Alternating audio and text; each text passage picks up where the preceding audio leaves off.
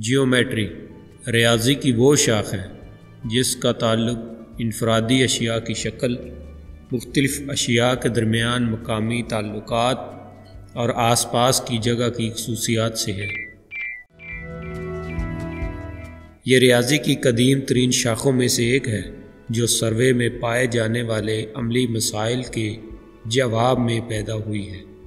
मिस्र और मैसोपोटामिया से तकरीबन इकतीस सौ कबल मसीह से मुतल तहरीरी रिकॉर्डों की इब्तदाई मालूम गैर मुबहम मसाले ये ज़ाहिर करती हैं कि कदीम लोगों ने पहले से ही ज़मीनी इलाकों का सर्वे करने, इमारतों की तमीर और ज़ख़ीरा करने के बर्तनों की पैमाइश के लिए करामत, रियाजियाती असूलों और तकनीकों को वज़ा करना शुरू कर दिया था।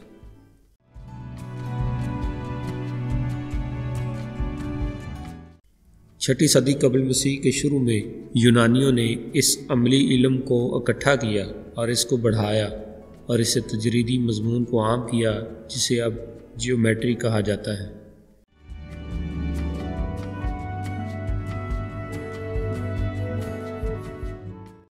जियोमेट्री, यूनानी अल्फाज जियो यानी अर्थ और मेट्रोन यानी पमाइश की इम्तजाज से मिलकर बनी है। जिसका मतलब हुआ ज़मीन की पेमाइश। कदीम ज़माने में दरियाए नील में आने वाले हर साल के सैलाबों से वसी ज़मीन ज़र आब आ जाती थी और हद बंदियाँ टूट जाती थीं। लिहाजा इंसान को पहले पहल ज़मीन की पेमाइश की ज़रूरत पेश आई। रस्सियाँ खींच कर ज़मीन की लंबाई और चौड़ाई नापी गई। दरअसल यही इलम ज्योमेट्री की इब्तदा थी। जो मिस्रियों के यहाँ हुई। मिस्रियों को दरिया नील के सालाना, सैलाब के बाद जायदादों की पैमाइश करने, खराज का अंदाज़ा लगाने, तेल और अनाज को ज़ख़ीरा करने और डैमों और अहरामों की तमीर की ज़रूरत से अखज़ करदा, ठोस अदाद शुमार के हजम को जानने के लिए भी, रस्सियों के ज़रिए पैमाइश करने के लिए भी जोमेट्री की ज़रूरत पेश आई।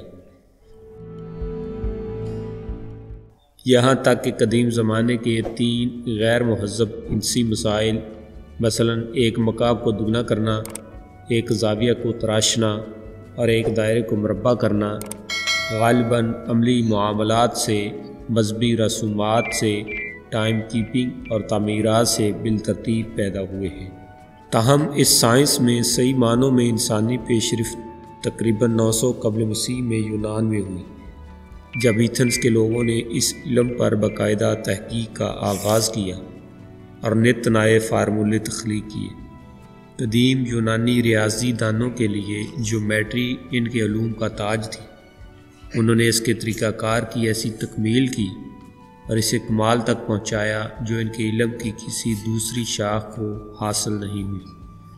उन्होंने ज्योमेट्री की हद को बहुत सी नई किस्म की अदाद शुमार मनहनी खतूत सतहों और ठोस तक फैला दिया। उन्होंने इसके तरीक़ाकार को आजमाइशी और गलती से मनतकी कटौती में तब्दील कर दिया। उन्होंने तस्लीम किया कि जोमेट्री अबदी शक्लों या तजरीदों का मताल करती है, जिनमें से इंसानी अशिया सिर्फ़ करीब करीब हैं, और उन्होंने अक्सोमेटिक तरीक़ा का ख्याल तैयार किया, जो आज भी इस्तेमाल में है। मिस्रियों ने इस वक्त तक इल्म जोमेट्री, महज दायरा और कौस तक मुतारफ़ कराए थे।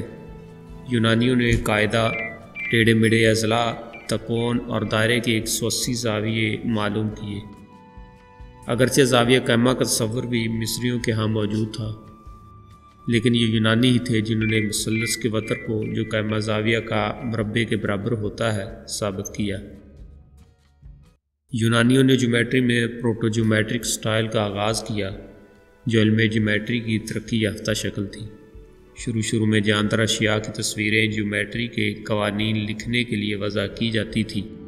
बाद अज़ां जोमेट्री के इलम को फ़न तमीर में इस्तेमाल किया जाने लगा, जिनसे यूनानी और रूमी फ़न तमीर ने तरक्की की। इब्तदाई जोमेट्री तूल, जाविया, रकबा और हजम से मुतलक तजर्बाती तौर पर दयाफत शुदा असूलों का मजमू था, जो सर्वे, तमीरत, फल्कियात और मुख्तलिफ़ दस्तकारियों में कुछ अमली ज़रूरियात को पूरा करने के लिए तैयार किए गए थे। इनमें से कुछ हैरत अंगेज़ तौर पर नफीस उसूल थे और एक जदीद रियाजीदान को इनमें से कुछ को कैलकुलस और अलजबरा के इस्तेमाल के बगैर अखज़ करना मुश्किल हो सकता है। मिसाल के तौर पर, मिस्री और बाबली दोनों पाइथागोरस से तकरीबन 1500 साल पहले पाइथागोरियन थ्योरम के वेरिएंट से वाकिफ़ थे। और आठ सौ कबल मसीह के लगभग हिंदुस्तानी सलबास्तर इस थ्योरम के पहले बयान पर मुश्तमिल थी। मिस्रियों के पास मुरबा अहराम के हजम के लिए एक दुरुस्त फार्मूला था। यूनानियों की इल्म जोमेट्री की तरक्की के बाद आखिरकार ये महसूस हुआ कि जोमेट्री को फ्लैट सतहों, यानी हवाई जोमेट्री और सख्त तीन जहती अशिया, यानी थ्री डी जोमेट्री के मुताल तक महदूद नहीं होना चाहिए, बल्कि ये कि सबसे ज़्यादा तजरीदी ख्याल और तस्वीर को हिंदसी असलाहत में पेश किया और तैयार किया जा सकता है।